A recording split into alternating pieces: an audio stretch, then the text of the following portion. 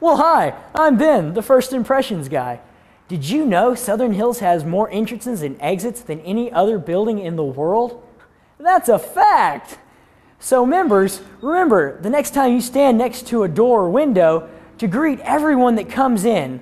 I'm Ben, the First Impressions guy. Just thought you should know.